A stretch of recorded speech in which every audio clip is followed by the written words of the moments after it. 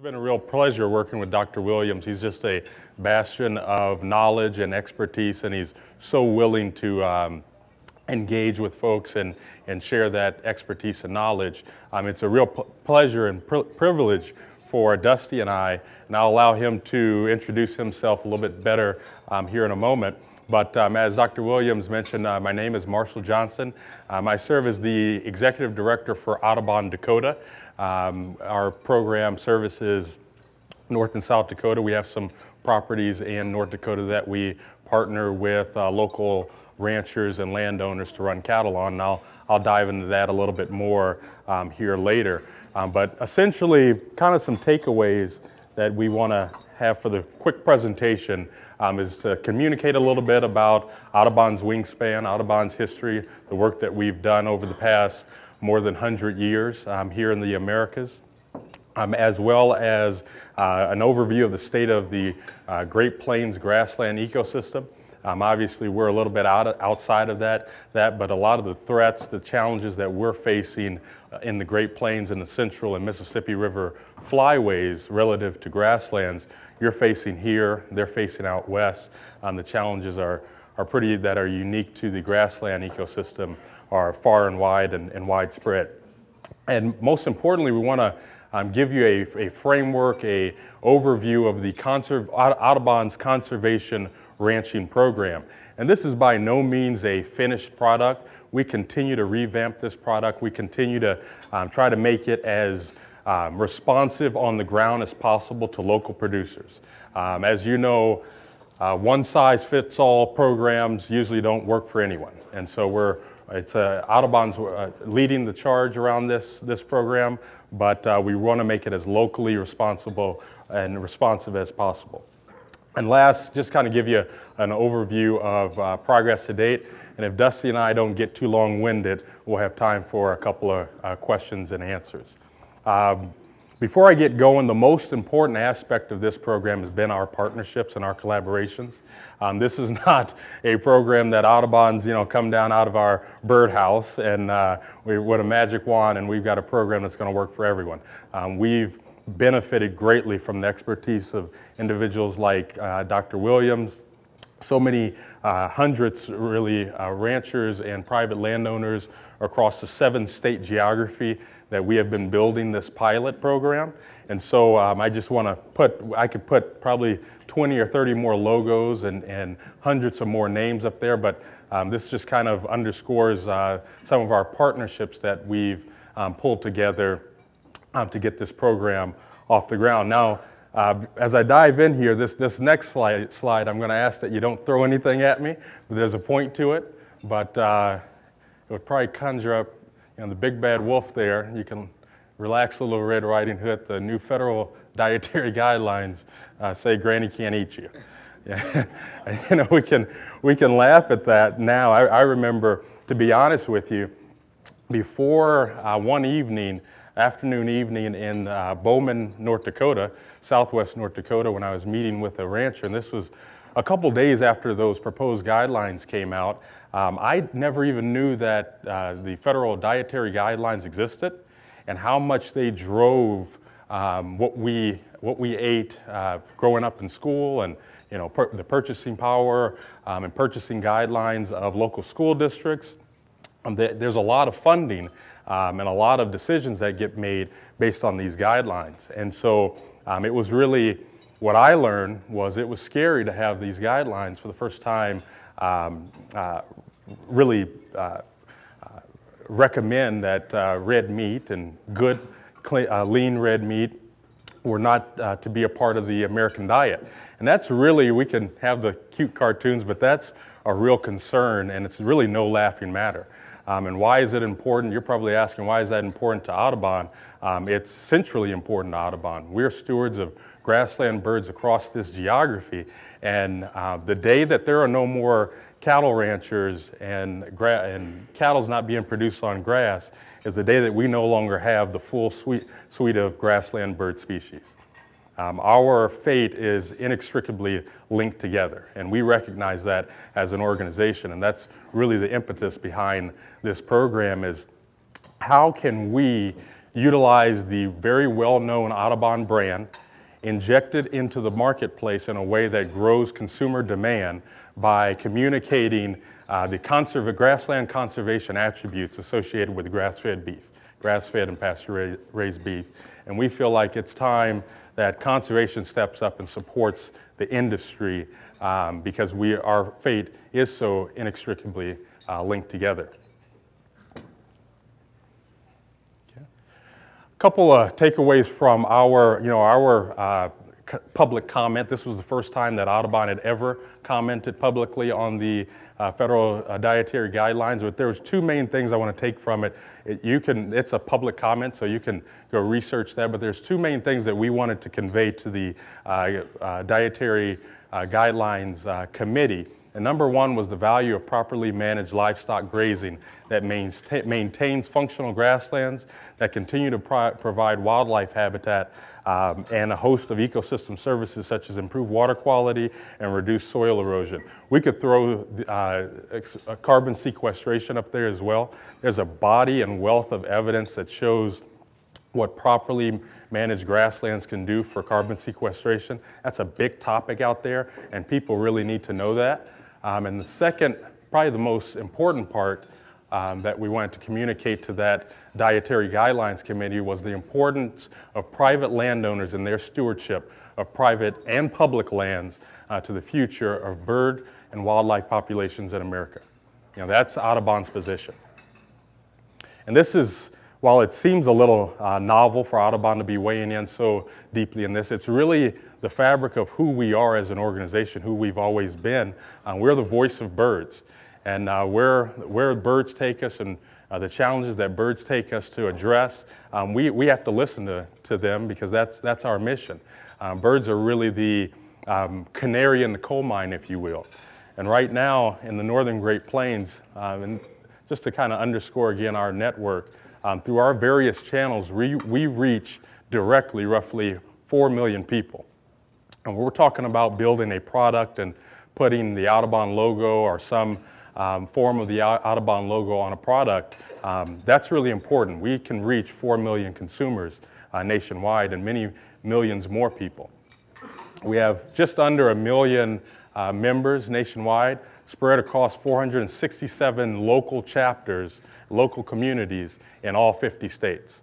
Um, through our nature centers, we have 46 of them. We reach over a million people uh, in the urban areas, and again, very important. These are areas where, um, unfortunately, uh, beef can be a four-letter word in the worst context.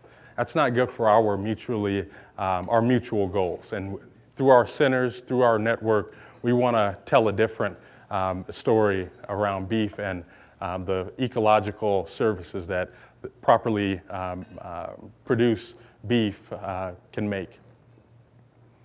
This is our network here in the Central Flyway. We have six state programs, um, uh, probably 100 or so staff in the Central Flyway, again, across that grassland uh, uh, landscape. And again, back to that notion of birds being ecological indicators, kind of the canaries in the coal mine. Um, if, if they are that, and we think that they are, their silence right now on the, the northern Great Plains is deafening. It's a bullhorn. Um, it's sounding an alarm to, to really what's, what we see on the charts with the science, what the everyday you know, antidote will tell you. Birds are disappearing. Grassland birds are disappearing. And you can kind of get a sense of the challenges that uh, the ecosystem um, and the birds that are supported and obligate to this ecosystem are facing. Um, over the last hundred years, we've lost 100 million acres of grasslands in this landscape. In the, in the last 10 years alone, we've lost 23 million acres of grassland, the size of Indiana. In that same time, uh, roughly 7.4 million acres of grasslands have been impacted by energy development, and that's roughly the size of Delaware and Maryland uh, put together.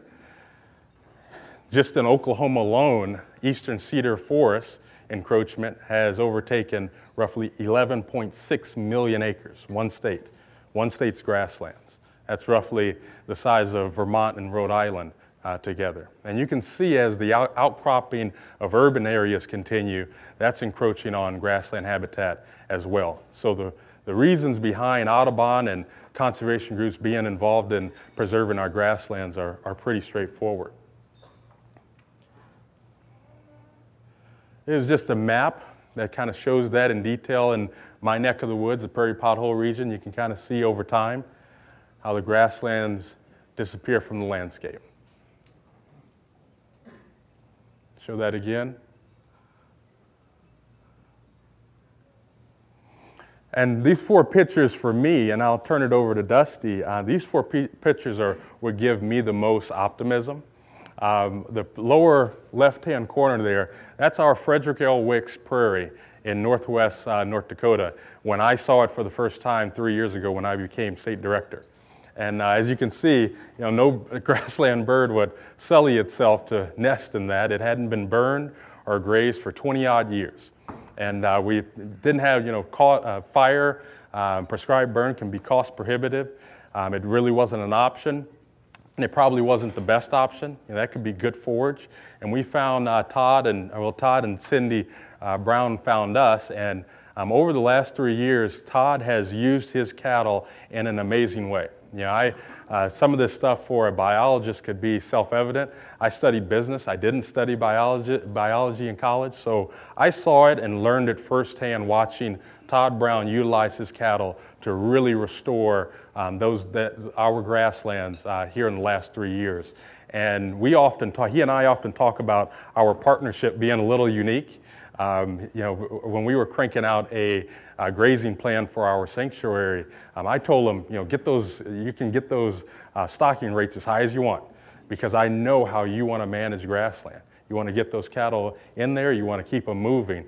And he was kind of shocked because he kind of, we were a wildlife conservation group, he just assumed that, you know, we would want, you know, 20 cattle out in a 1,500 acre um, paddock and, and we would get the results that we wanted. Absolutely not. He knows better than I how to get those grasslands restored, and he's done an amazing job. And when we talk, um, we often talk about, uh, he will share that, you know, what he's in it for is to have the most abundant, highest quality, nutrient dense um, uh, forage available to his cattle. Um, he loves the wildlife, but that's not what he's in it for. And when we talk, um, I think the perspective of conservation for many years has been, uh, grassland conservation has been, we don't care about the cattle, we don't care about the market, we just want the benefits on the landscape. And over the years, we've come to think, I think both of us, there's a deeper, more impactful story to be told here. There's a deeper, more impactful partnership to be had between conservation and particularly the grass-fed and pasture-raised beef markets. There's a story to be told in our big demand centers in California and New York that don't quite understand the benefits that grass-fed producers and pasture-raised uh, cattle producers are providing to the landscape. And uh, my colleague here, here, Dusty, can kind of dive into how we've worked on this project. But the thing that I would communicate most about this is, um, or leave you with, is you know, this is not Audubon's program alone. You know, our partners have helped us build, the, build this program from scratch, um, and it's been the local private landowners that have guided this program more than anyone. I'm myself a fourth generation rancher. Um, and I, I remember as a kid, you know, dad taking us out and, and saddling up the horses with my sister and my brother and, and uh, going out to go check the cows. And, and we did it pretty often. You know, we'd go out and we'd ride through the cows and the calves and we'd go see how many damn fences the yearlings broke through this week and, and uh, you know but it wasn't just about us going through there and checking the cows. I remember dad you know pointing out uh, mule deer scat next to a frozen pond. I remember him talking about the hawks and the raptors that were flying up over top of us. Um, and I remember him actually grabbing handfuls of dirt and, and smelling them, just like many of you did yesterday when we were on our tour. How many of you grabbed a handful of that compost and just, just smelled it and just felt it, felt it go through your hands? Well, Dad did that, and that, that taught something to me. Now, that being said, there were probably times that he was just wiping the Copenhagen off his hand, um, or, you know, he, he wasn't necessarily somebody who could identify the difference between a, a goose and a sandhill crane, but He definitely instilled something in me, and that's why I think this project is such an important project and why I'm here now, why Marshall's here, why we are really trying hard to make that connection with, with landowners. So, as Marshall said, why, why Audubon? Audubon of all groups. And, and the answer is again, Audubon understands that without that private land, there's not going to be those birds. There's not going to be that wildlife that is our final commitment here is that we are, are ready to throw our hat in the ring and really, really jump out there and, and do what we can for ranchers like yourselves, and especially the ranchers that are doing the, the amazing work that you all right here are already doing. Right? So, as opposed to coming up with other things, we want to reward those folks that are already doing such great, amazing work. And as Marshall said, we have to change the conversation, right? There are always going to be those people out there in the world that think when a, when a cow lifts her tail and poops on the ground that a cloud flies out of the sky and kills an angel, right? But the fact of the matter is, we need to change that conversation. There are so many benefits, right? Now, you've been hearing over the past couple of days about all of the benefits that have to do with the market and, and the benefits that have to do with the consumer. But what we're here to talk about is really the benefits to the birds and the wildlife. We want to bring that to the forefront with this group and let you know that we understand that what you're doing has those huge benefits to that wildlife to that legacy that we're going to leave on, you know, the land for the rest of our kids. And the fact of the matter is, as Marshall said, the birds are going down. They're declining. And not all of them, right? But, the, but they are declining. And so we feel like as Audubon, it's our responsibility to come in there and say, all right, we need to throw our hat in the ring and we need to stick up for the folks that are really providing the habitat right? They're providing the places for those birds to land and the, and the migration routes and, and the grassland that those birds really need. Okay? So, how can we make a difference? Marshall went into this just a little bit. Okay? We feel like we can leverage our Audubon brand in a, in a pretty unprecedented way, right? We've got that network of people that right now, if we say this product is what you should be buying because it's good for the birds, these folks will jump at it, right? We feel like there are a whole scheme of people out there that are ready for this, that they can sit down and have a conversation as they eat dinner with their friends and their family and talk about why they get that warm, fuzzy feeling eating this good grass fed beef. Okay? So it's just another aspect. It's just another option for, for us as producers to really get that name out there and, and, and really be proud of a product that we have. Right? We've created a pretty decent network. Right? We've got producers, as Marshall said, all across the region. We've got experts like Dr. Williams. We've got minds. There's folks in this, this, this room right now, Warren over here, who actually are kind of the brainchilds on this. Right? There are some pretty fabulous minds that have put this together, and now it's time for Audubon to come in and really start to, to bring forward that certification and really start to, to move forward with it. So, um, yeah. We know that we can, we, can, we can put that brand out there, and it has a powerful impact. It has a powerful impact. So again, there are experts at this, at this room right now that have talked to everybody about the benefits, both to us as producers, also to the consumers and the retailers. But what I really want to highlight is that benefit to the wildlife right? That's another real key reason that a lot of us want private land and that we enjoy that private land. It isn't just what we make off the cows, but it's also all those other aesthetic things that, that go along with that as well, like the wildlife, all right? Nope. There we go. All right, so where are we at? Where's Audubon at? Well, we have developed protocols. We have developed protocols, but we've developed protocols with producers that we feel like really set producers up for success. There's nothing extraordinary here, okay? It's stuff that pretty much everybody in this room, I can almost guarantee you, is already doing, all right? Um, but we have to have those protocols. And if those protocols are, are, are followed, we feel like we can very comfortably put our brand on a product and help the, the producers make a little bit more money.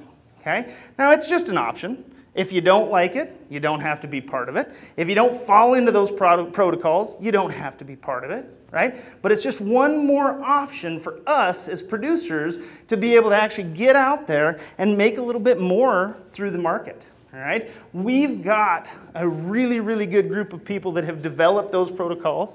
We have got the marketing piece of it, right, and, and we're ready to really start jumping into the supply chain. We're ready to start really plugging producers in and get this project, program moving. All right, you want to do this one? So um, over, as we mentioned, we've been working on the program for probably three and a half, four years. Uh, Probably when you talk to folks like Max Alger out of Missouri, who's been a key collaborator in the project, um, a lot of the work's been going on a lot longer than that. Um, It's it's fairly self, uh, uh, it's fairly intuitive that uh, if you produce cattle in such a way that you have more abundant forage um, through um, a holistic management or rotational grazing system, you're going to have more wildlife, but we have to prove that. When we say that in the marketplace, we have to be able to prove that. Um, and so over the last three years, we've invested nearly two million, just over two million dollars into the development of, this program. Um, we completed a feasibility study that was done by the Wellspring Group um, here in 2012, 2013, and their recommendations were fairly clear um, that by utilizing the Audubon brand, a major conservation brand um, like, as such, um, we can provide an additional premium in the marketplace for the producer. And that's really the brass tacks of this whole program. If we can't produce a premium for prospective and enrollees in this program, then the program has no, has no um, legs. And, and so we've tried to really focus on the market. Um, yes, we're going to focus and we're going to have a certification program for the production, but we have to, we have to deliver for you or for whoever is a, pr- a prospective uh, producer in the marketplace. Um, and so we completed the feasibility studies and we've acted on those recommendations. We've organized workshops and listening sessions throughout the geography. I believe just uh, last week or two weeks ago, um, we had a listening session in uh, Douglas, Wyoming, and Dr. Williams was there and, and helped uh, uh, guide that uh, workshop for roughly 20 or 30 producers. 40 producers, excuse me. Um, and we've continued to develop the best strategy that we can possibly have um, for the Audubon brand to be in the marketplace and drive consumer demand for this bird-friendly beef product. Um, development of science-based, bird-friendly, I must be going too long because we're, we're getting some complaints, right? Uh, sci- development of science-based, bird-friendly uh, grazing protocols with input from out, outside experts. Um, our uh, par- chief partner in that um, has been the uh, Animal Welfare Approved. They've really helped us on the ground develop those protocols. But again, at every step of the way, there's been private producers and landowners in the room helping us develop those protocols um, because they have to be workable. If they're not workable, they could be the greatest things in sliced bread and it will go nowhere. And again, this kind of gives you, you know, the uh, standards and the habitat and grazing standards are for us the key to the program, being able to communicate the benefits to the consumer and back that up. And this is our pilot geography the- for the program. We hope to, um, this program will be reviewed by our national board here in about three weeks. And we hope to move forward with a pilot in seven uh, different states and across the Midwest and then build out from there. There are a lot of things, as I stressed in the beginning, there's a lot of things that we don't know. Uh, we've tried to be as thoughtful as possible and we've tried to bring in some really good minds into this, but there are a lot of things that we don't know and we're going to learn over time. Again, just to underscore uh, the importance of partnerships to developing this program, it is a different look at doing conservation. It's a different perspective, but we believe in this product in a way that, that has made it um, uh, reasonable and, and made it worthwhile investing the time, resources, and effort we have into developing this program. But again, it comes down to the bottom line. Um, Audubon is committed to working collaboratively with ranchers and private landowners throughout the Great Plains and abroad um, in order to conserve grassland birds at scale through this market-based strategy.